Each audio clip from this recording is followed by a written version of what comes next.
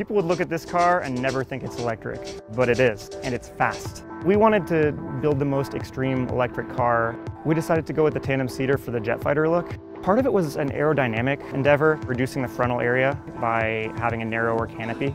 The batteries that we're using and motors that we're using let us put out about 1200 horsepower. You can get so much power from electric motors.